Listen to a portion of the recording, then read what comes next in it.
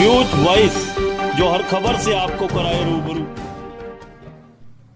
बदलाव का संकल्प, बहन श्रुति चौधरी और अभिमन्यु राव ही विकल्प। मेरा अभिमन्यु, मेरा स्वाभिमान, नांगल चौधरी विधानसभा क्षेत्र से अभिमन्यु राव।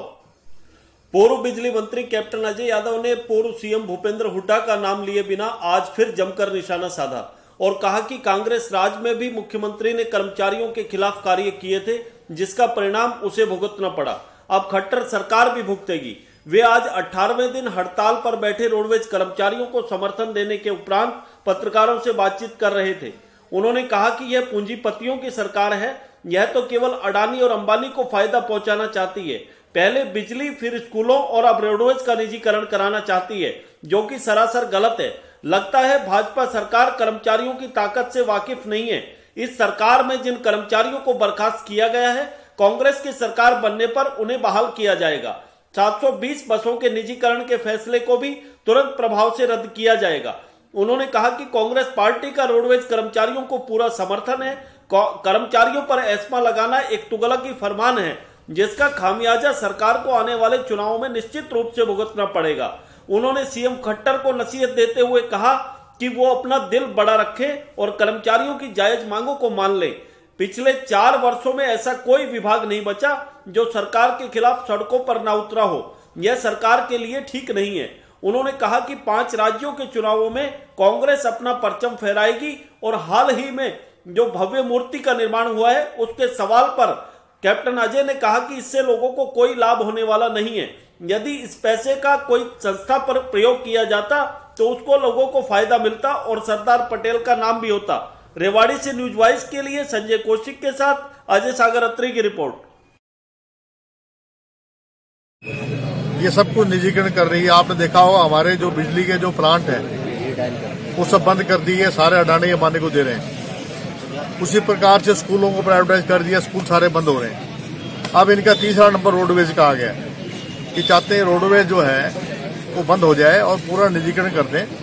फिर सरकार क्या करेगी? मंत्री और विधायक जो हैं, मुख्यमंत्री अगर सब कुछ निजीकरण हो जाएगा, फिर जो टैक्स हम वसूल कर रहे हैं जनता से, वो कहाँ लगेगा? और जिस किलोमीटर के हिसाब से ये लोग बसों को दे रहे हैं, उसमें तो बसें भी आ जाएँगी, कंडक्टरों की सैलरी भी आ जाएगी, प्रॉफिट भी हो जाएगा। तो बजाय उसके प्राइवेट बसें बनाए, अपना खुद का, अपना फ्लीट लें, नई और ये आप बार बार कहा करते हैं, हम नहीं बसें लेंगे। और एक हम बात कहता हूँ, इन कर्मचारियों को मैंने एक बात कह दी है कि जिन लोगों को ये डिसमिस कर रहे हैं, उनको हम दोबारा बहाल करेंगे। और जो इनका नुकसान हुआ, उसकी भरपाई हम करेंगे। और सबसे बड़ी बात यह कि जो निजीकरण सरकार कर रही है, उसको हम स्क्रैप करेंगे। अब आप देख ही रहे हैं कि किस प्रकार से सरकार की नीयत ठीक नहीं है। और मेरी खट्टर साहब से मुख्यमंत्री जी से कि अपना बड़ा दिल रखें और ये निजीकरण वाला मामला खत्म करें और इनकी जो जायज़ मांग, मान मान लें। आप देखिए कि कर्मचारियों को डिसमिस करना, आपको याद होगा कांग्रेस राज में भी हमारे एक मुख्यमंत्री जी ने जो है कर्मचारियों के खिलाफ कार्य किया था, उसका नतीजा भुगतना पड़ा। तो इस सरकार जो है अभी लोकसभा और असेंबली के चुनाव आ रहे हैं। और कर्मचारियों की जो ताकत है, उसको सही आकलन नहीं कर पा रहे हैं। अगर कर्मचारियों के खिलाफ इस प्रकार से अगर चलेंगे तो सरकार चलती फुलेगी। और मोदी जी तो वैसे ही अपना झोला ठाए फिर रहे हैं। तो ए एन एम है, आपके जितने जी एन एम है, आपके ये गेस्ट टीचर्स हैं, आपके रोडवेज़ के कर्मचारी हैं, बिजली बोर्ड के कर्मचारी हैं, और आंगनबाड़ी वर्कर्स हैं, और आपकी ये जो मिड डे मील्स वाली हैं, ऐसा कौन सा विभाग है जो संतुष्ट है? अपने ये मैकेनिकल इंजीनियर वाले जो लोग हैं, पीडब्ल्यूडी के लोग हैं, इरिगेशन के लोग हैं, सब लोग लामबंद हैं। मैंने अपने जीवन, में बत्तीस साल से राजनीति में हूँ। मैंने इतना आक्रोश कर्मचारियों में, किसानों में, व्यापारियों में, इस सरकार के खिलाफ जितना, इस योजना में देखा, आज से पहले मैंने कभी नहीं देखा। सुबह तब लगाया अगर ये तोड़फोड़ कर रहे हो? या कोई, अब जैसे बिजली तो बोर्ड वाले उन लोग तो एसेंशियल सर्विसेज़ तो दे रहे हैं पब्लिक हेल्थ वाले पानी दे रहे हैं। अगर उसमें बाधा आती तो बात दूसरी है। आप एस्मा किसी पे लगा देंगे तो कोई बात नहीं है। ये तो तुगली की फरमान हो गया। तो ये तो इनजस्टिस है और टोटली जो है ये कहीं भी स्टैंड नहीं करेगा कोर्ट में भी स्टैंड नहीं करेगा और ये मुँह की खाएँगे। तो इनके साथ हैं। अब समय कितना रहेगा? छह महीने तो बच गए हैं। हैं? छह महीने बाद हम इलाज कर देंगे।